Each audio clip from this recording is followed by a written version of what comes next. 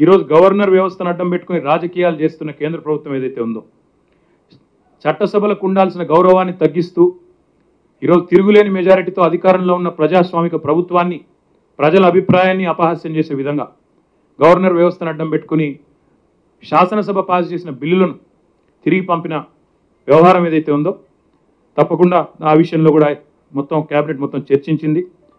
ఏ బిల్లులనైతే మేము చట్టపరంగా ప్రజాస్వామ్యబద్ధంగా ఆమోదించి గవర్నర్ గారికి పంపాము.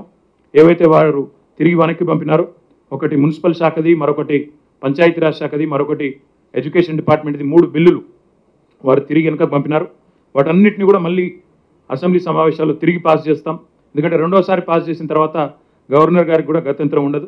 రాజ్యాంగం ప్రకారం కూడా రెండోసారి శాసనసభ పాస్ చేసిన తర్వాత ఎవరైనా సరే గవర్నర్ ఎవరున్నా వారికి రాజకీయంగా ఏ అభిప్రాయాలున్నా వారికి ఏ రకమైన ఆలోచనలు ఉన్నా ఆమోదించక తప్పదు. ఎందుకంటే ప్రజాస్వామ్యంలో అల్టిమేట్గా ప్రజలు ఎన్నుకున్న ప్రభుత్వాన్ని ఫైనల్ డెసిషన్ అవుతుంది.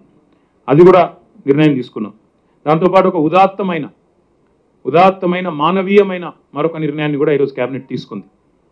భారతదేశంలో ఇరవై ఎనిమిది రాష్ట్రాలు ఉంటే ఏ రాష్ట్రంలో లేని విధంగా.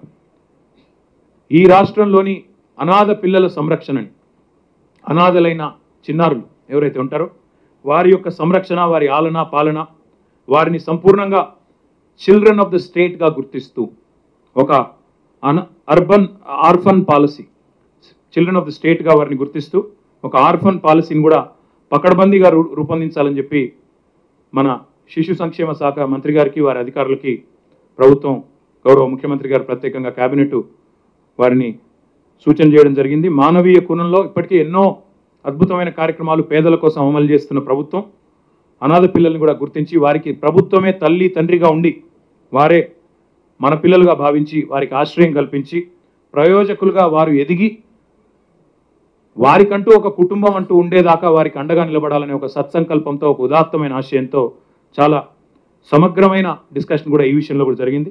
దాదాపు ముప్పై నలభై నిమిషాల పాటు. మంత్రివర్గ ఉపసంఘం ఆల్రెడీ ఈ విషయంలో పనిచేస్తూ ఉంది. వెంటనే నెక్స్ట్ కేబినెట్ సమావేశానికి తీసుకొని రమ్మని చెప్పి గౌరవ ముఖ్యమంత్రి గారి పాలసీలో ఇంకా కొన్ని సూచనలు కూడా చేశారు. నెక్స్ట్ కేబినెట్లో దాన్ని ఆమోదిస్తాం. కానీ ఈ విషయంలో కూడా చాలా డీటెయిల్గా డిస్కషన్ జరిగింది. తదనంతరం గవర్నర్ కోటాలో శాసన మండలికి ఇద్దరు సభ్యుల ఎంపిక కూడా ఈరోజు కేబినెట్ ఆమోదం తెలపడం జరిగింది. అందులో జనరల్గా ఎస్టీలలో షెడ్యూల్ ట్రైబ్స్లో ఉండే ఎరుకల సామాజిక వర్గానికి జనరల్గా రాజకీయంగా పెద్దగా అవకాశాలు రావు. అందుకే గతంలో ముఖ్యమంత్రి గారు ఇచ్చిన మాట ప్రకారం అల్పసంఖ్యాకులుగా ఉన్న అందులో కూడా షెడ్యూల్ ట్రైబ్స్లో కూడా అల్పసంఖ్యాకులుగా ఉన్న ఎరుకల సామాజిక వర్గానికి సంబంధించిన గౌరవనీయులు శ్రీ మాజీ శాసనసభ్యులు కుర్రా సత్యనారాయణ గారిని ఒక అభ్యర్థిగా మరొకటి గౌరవనీయులు బలహీన వర్గాలకు సంబంధించి బలమైన గొంతు డాక్టర్ దాసోజు శ్రవణ్ గారు. వీరిద్దరిని కూడా శాసన మండలి అభ్యర్థులుగా అవకాశం గవర్నర్ నామినేషన్ ప్రకారం ఎందుకంటే ఒకసారి కేబినెట్ నిర్ణయం తీసుకున్న తర్వాత గవర్నర్ గారికి వేరే మార్గాంతరం ఉండదు నిజానికి.